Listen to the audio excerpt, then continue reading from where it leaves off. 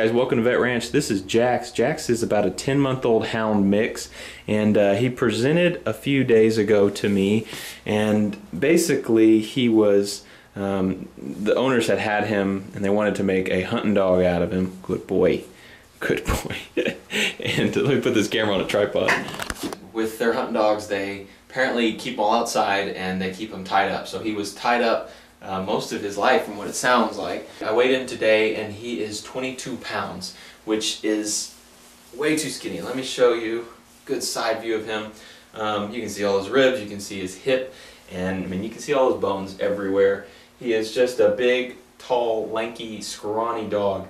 Um, and he had kind of stopped eating and just was getting really sick and he looked a lot worse a couple days ago. He came in all dehydrated and he had a high white blood cell count, meaning he had an infection which, come here, we weren't real surprised about because he has this wound on his neck.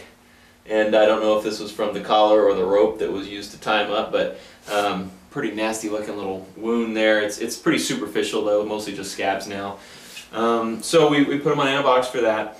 And I also ran a TLI test. And what that is testing for is um, pancreatic insufficiency. It's called exocrine pancreatic insufficiency. One of its functions is to secrete enzymes every time the dog eats a meal. So he eats a big meal of dog food and the pancreas secretes enzymes and basically it puts those enzymes into the intestines and it uses those enzymes to break down the food into absorbable components. So in exocrine pancreatic insufficiency dogs, or EPI, we'll call it for short, um, he's not doing that, so the food is just passing through and it's not being digested. The good thing about this disease is it is treatable if you just supplement their diet with um, pancreatic enzymes daily. I mean, literally at every meal, you put some enzymes in his food and as he eats those, those enzymes start breaking down the food and it goes into his body and theoretically he should absorb all that fat and all that protein and all that energy and be a normal functioning dog, um, which is great. He has a treatable condition, but it's something that he'll need to be treated for for life and that pancreas, the pancreatic enzymes are not cheap. So it's going to be an expensive condition. Um, and I told the owners this. I was pretty excited that we found out what was wrong with him and it was something we could fix. Um, and the owners told me they just couldn't afford it, which that's not that's not a you know I don't say they're bad people because of that because it is a pretty expensive thing over the course of his life and and a lot of people just can't they can't do that especially you know for a young dog like this you know they that he's going to have a long life ahead of him and, and that's going to be a lot of money spent on pancreatic enzymes. So the owners elected euthanasia. Um, they were going to put him to sleep because he's suffering. We can't let him keep going like this. Um, but I told them about what we're doing with Vet Ranch and uh, told them I would take the dog. So he now is mine. They signed over papers. He is, he's my dog. And uh, basically what I'm going to try to do is start giving him the enzymes. I ordered them today, so they should be in tomorrow. Um, and we'll start giving him those enzymes um, along with some other things. I'm going to clean him up, shave that wound on his neck and make sure it doesn't need anything and um, we have antibiotics to help, help heal it up and keep from getting infected and everything. Uh, we're going to try to put some weight back on this boy, beef him up a little bit, and uh, he's a super sweet dog, so um, good boy. So I don't think, you know, once we get him healthy, I don't think it's going to be hard finding him at home. All right, we've had Jax for about five days now. He has uh, been taking the enzymes and he's kind of picked up his appetite a little bit. He's feeling a lot better and he's been cooped up at the clinic in a cage so I figured today we'd let him spread his legs. So here he is. Jax, welcome to Demolition Ranch.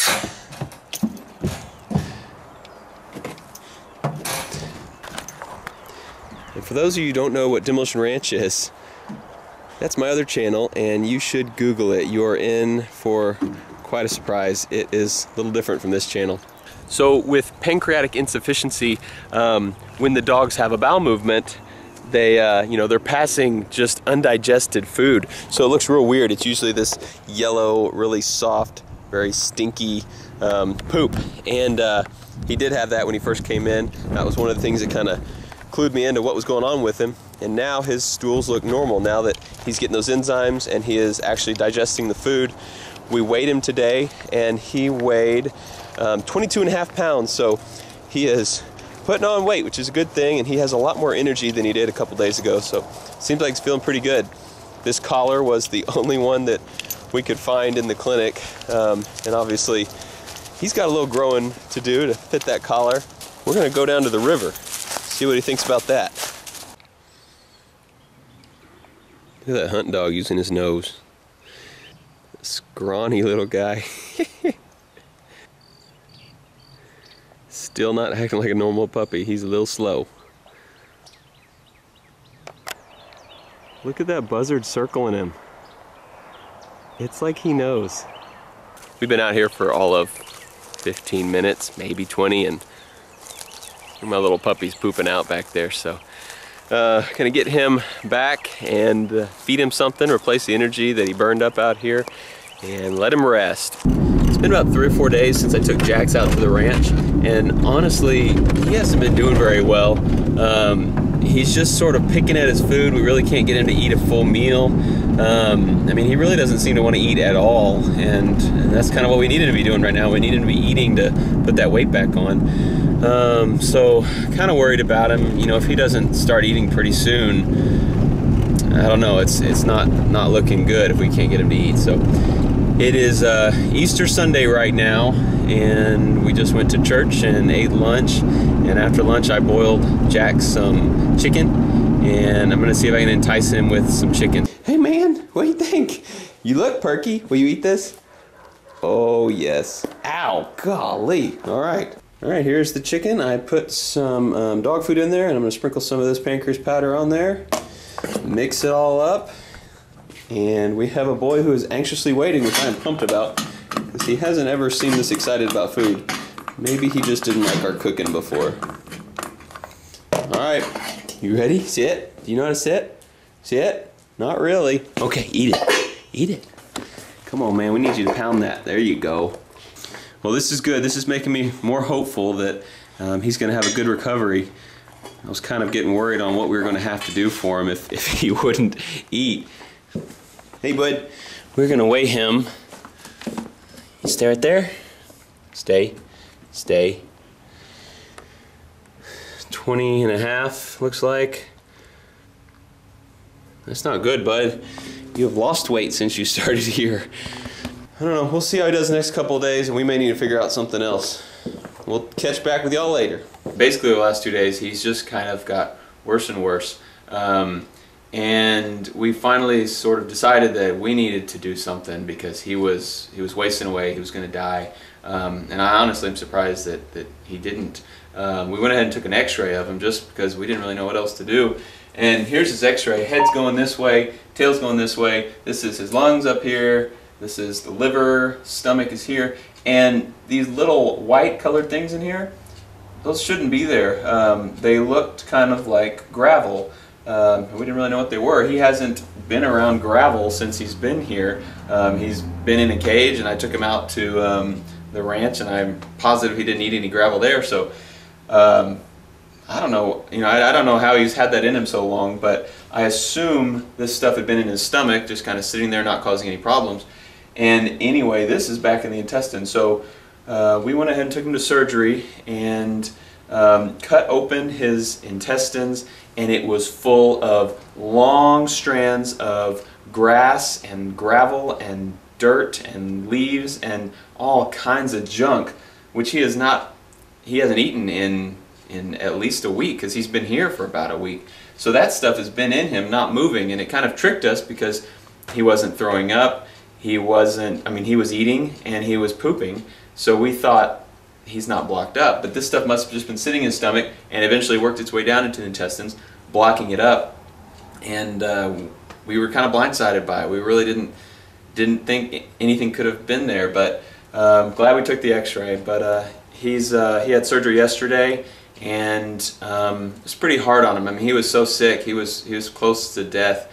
Uh, so we were happy that he made it through the surgery. It was a two-hour-long surgery.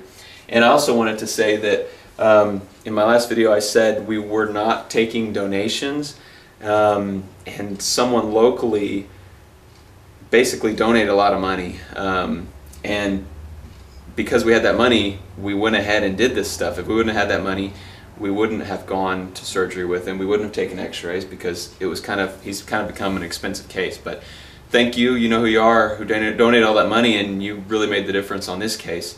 Um, you've paid for everything. All of his expenses are paid for. So let me go get Jax right now. Like I said, it's been a day since his surgery, um, and it looks like he's pulling through. He's starting to act perkier again. Uh, so I'll go grab him and bring him up. I forgot to tell you that he actually had lost weight too since the last time we weighed him. So that was kind of a clue that we needed to we needed to do something pretty quickly. Um, that prompted us to go ahead and take the X-ray and take him to surgery. He does have a feeding tube in now, so we can make sure to get those nutrients in him. Lay down, buddy. He's not comfortable up on this table. Let's see if he'll lay down on the floor.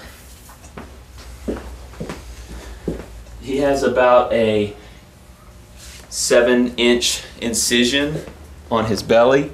I didn't really want to keep him up, he's so weak, but uh, basically the plan now is just to keep monitoring him, keep getting calories into him, um, and hopefully he's just going to gain weight now that he had that big bolus of grass and sticks and leaves and rocks out of his intestines. So it's been a while since I've updated on Jax. He um, he really did terrible after surgery. Uh, for about a week, he just was lethargic, not really getting up and moving around. Um, he definitely was not eating, and uh, I really didn't think he was going to make it. I I was pretty confident that he was going to die, and I quit videoing him because it just he was just so sad. Um, he just looked terrible. He lost more weight, and we were feeding him every day through that esophageal tube, but uh, he just wasn't really coming around until about a week a week later after surgery, he did nibble a little bit of food on his own, which was the most promising thing we had seen. And, uh, you know, he was kind of getting a little tail wag back. And the next day, he totally ripped that, that esophageal tube went into his neck and into his esophagus, esophagus, and he totally ripped it out of his neck. And uh, I kind of thought, man, we're to have to put it back in him.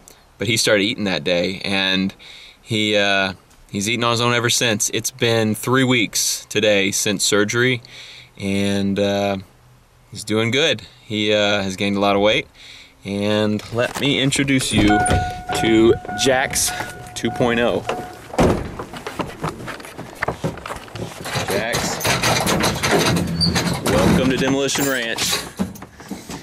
You can see, Jax is now a beautiful dog. He can jump out of the truck on his own. He's still pretty goofy he has gained um, a lot of weight. We weighed him today. He is over 30 pounds, which is amazing. He came in um, a little over 20 and then he lost weight and went down to um, 19, maybe a little below. So Jax is 50% heavier than what he was at his lowest, which is pretty awesome. So everything's just worked out perfect for Jax. He, he does still have the um, issue where he'll need enzymes, most likely for life, but um, he's just improving every day, so I really don't think that's going to be a big issue at all. Check this out, we taught Jax a new trick. It's called eating. Good boy. Good boy. Good boy, all done? Good boy. Jax finishes every meal now and uh, actually howls when he is not getting fed. And look how much muscle he has now compared to how he used to be. Looks a lot better. So there you go. This is Jax. This is probably the last update we're going to do on him um, because we have found him a home and uh, they should take him in uh, another day or two. Really nice family and uh, he should have a good home for the rest of his life. So I talked about not taking donations in a previous video and that was because I thought I could do it alone. Um, but with Jax here, he's turned out to be much more expensive than uh, I ever would have thought he would be. And I found out that I can't do it alone. Um, at least I wouldn't have been able to do him alone um, because he was, you know, he, we probably spent $2,000 on Jax. We've had him at the clinic for um, a little over a month, um, probably closing in on a month and a half. And just boarding a dog for that long is expensive. You know, just taking care of them feeding them but much less a hospitalized patient and one that we had to do um, two surgeries on. We did the abdominal surgery and then I did the uh, the uh, neuter also. But we are going to start accepting donations and uh, I'm not really sure how we're gonna do it yet. I think I'm gonna set up a nonprofit organization and uh, as soon as I do that, I will put um, the information on how you can donate in the description below. So go check that out. As soon as I get it all figured out, it'll be there. And uh, we really appreciate everybody for uh, supporting this channel. And if you didn't watch the other video, uh, we have ads on these videos. They make revenue that goes to support these pets too. So just watching these videos is supporting a pet. You know, we make a fraction of a cent for your view, but when we get thousands of views, those fractions add up. So thank you for watching. Thanks for supporting Vet Ranch and what we're trying to do here. And uh, thanks for helping with Jax. See y'all later. Sometimes when you're feeling young and you're feeling tough and you're all caught up but you don't walk right and you don't talk right and there ain't nothing wrong with feeling strong but I know what you're going through know cause I've been there too I don't walk right and I don't talk right and there ain't nothing wrong with feeling strong but I wanna be there for you honey working my job making So, earlier in this video, you saw when I took Jax out here to Demolition Ranch, we were out here for 10 or 15 minutes and this dog wore himself out, walking around sniffing like this. Now he can outrun me. He's healthy, beautiful, and I hope we have more success stories like Jax in the future. And we're really gonna make a difference here. We're gonna fix them all. I want you next to me. I said I do, I said I do. Please, in sickness or in health, always be true, always be true. And I want you next to me. I said I do, I said I do. Please, I wanna be there for you, honey. Working my job and making money.